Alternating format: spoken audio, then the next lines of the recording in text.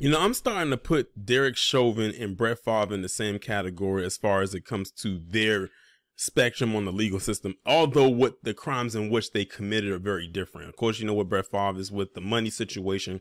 Derek Chauvin is with the murder situation. So with Derek Chauvin, yet again, he's appealing the conviction with it when it comes to George Floyd, and it's over the same thing as he's been trying to get with that appeal in the past, and that is where he believes he has not received a fair trial.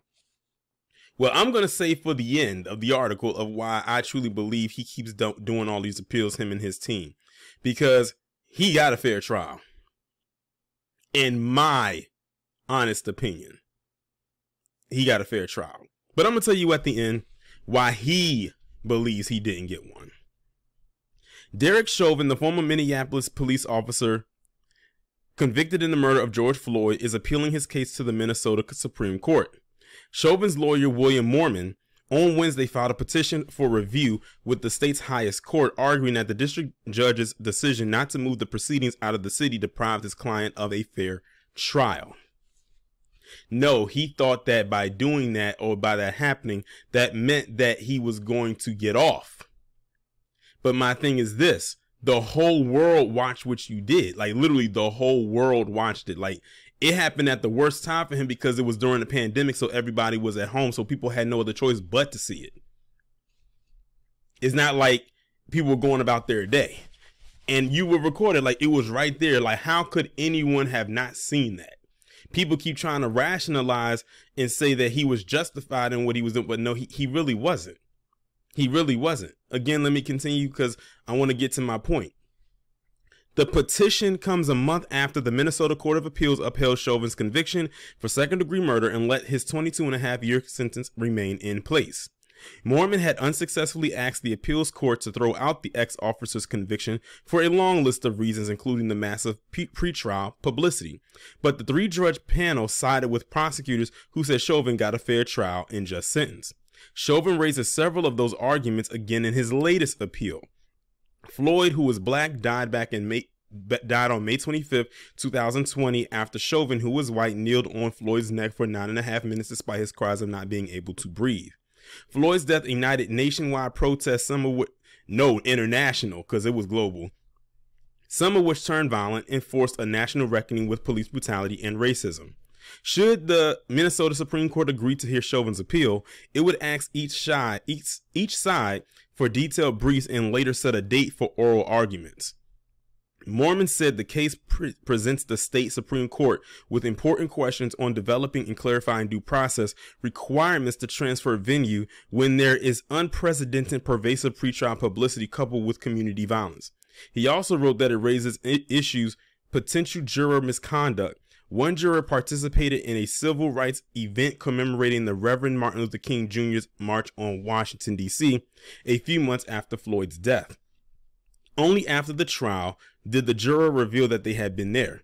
The Court of Appeals declined to send the case back to the trial judge for a hearing on whether the juror's non disclosure constituted misconduct. Chauvin pleaded guilty to a separate federal civil rights charge and was sentenced to 21 years in federal prison, which he is now serving in Arizona concurrent with his state sentence. Now that I have gotten through the article, let me just say why I believe he wants another, he wants this appeal. And this is really for me, all it boils down to. Some people might have a difference of opinion, but this is what I believe. The reason why Derek Chauvin wants this appeal to happen, him and his team wants this conviction to be appealed or overturned or whatever the case may be, is because he was convicted of what he did. He probably thought that he was going to walk away from this unscathed, like several of his comrades in separate precincts in different places across the establishment had done before him. And not only that, he got hit with one of the bigger sentences. You know, usually they're kind of lowball the sentence, but with him, he got over two decades behind bars. No matter where his sentence, like no matter where his sentence is being carried out of any prison, he's going to be behind bars for 22 and a half years. It's probably less than that now because he's already been in there for a couple years. but uh, it's just the fact that he felt he was going to get off and he didn't. He probably felt the world was crumbling around him. He thought, oh, no one's going to convict me. And he found out, in the words of Rob, that day he found out the world was indeed very correct. The same reason why his attorneys felt he should have been able to have his trial in another location because they felt like if they did that, people would have been, been a bit more lenient and got him off is the same reason they want this appeal is because they feel like with it he'll be able to get off. Or at the very least lower the sentencing. But that's not going to work. Hopefully i don't want to say it won't because i gotta remember what system we live in at the end of the day so i don't want to jump the gun and get overly excited. But yeah that's my interpretation as to why he wants this appeal or why he feels that this trial was wrong because he did not walk away from this. He actually has to face consequences. He's actually being held accountable for his actions. And it's very rare that you have a white cop, a white male cop at that, who murders a black man on camera get away with it. I mean, um, not get away with, it, I'm sorry. It's very rare that that happens. And he feels like that should not have been the case. He felt justified in what he did. And that's the mindset of many. Look at what happened with Daniel Penny and what he did to Jordan Neely and how people are calling him a hero. He didn't, Derek Chauvin didn't get as much people calling him a hero as Daniel Penny did. Now, there's some parallels there. Uh, Derek Chauvin kneeled on George Floyd's neck for nine and a half minutes, and that caused him to pretty much be choked to death. Daniel Penny held Jordan Neely in a chokehold for 15 minutes and causing him to die. George Floyd was black. Jordan Neely was black. George Floyd in death got and faced backlash. Jordan Neely in death faced backlash. You know, with George, with George, Floyd, they kept bringing up, oh, his past and, you know, drugs and all types of stuff like that. With Jordan Neely, these 40 plus arrests and this, that, and the third. But like I said, I don't remember Derek Chauvin getting called a hero as much. He did get some, but not nearly as much as Daniel Penny did. But that's really all it boils down to for me. Derek Chauvin is upset, and his uh, lawyers, I'm sure, because he ended up behind bars. Now, here's the thing wouldn't that have been funny if the judge or whoever allowed the trial to be moved to another state where he felt he would get a fair trial? And those results were the same or even more intensified than what he received. Then what would they have said? They would have been like, oh, you would have just been better off. And that's the thing. Who knows? Maybe that judge was trying to keep them from going to another state because they probably would not have given him 22 and a half years. They probably would have given him more. So, Derek Chauvin, have you thought that maybe the judge was kind of looking out for your neck? Well, I don't even want to say neck for your, uh, for you by not having you go to another state because they probably said 22 and a half. What is that? Give him 30 again, the whole world was watching. I don't know what made him or his team think that going to another state would have made it more lenient. And then on top of that, they already knew the people were on edge. They knew that if if Derek Chauvin walked away from this unscathed, they would have had a repeat of what happened in 2020 meaning they would have had more riots, they would have had more protests, and it probably would have been times 10. It would have been on a thousand. So they had to do the right thing. They had to throw him behind bars. They had to give him a sentence longer than 10 years, like they did with Amber Guyger or what they gave Kim Potter with Daunte Wright. They had to do it. Whether or not they wanted to do it, that's beyond me. If they don't say I wouldn't know. I can't read minds. But they knew they had to do it. Because they knew if they didn't, it would have been hell on earth again. They did not want a repeat of what happened the week that Derek Chauvin murdered George Floyd.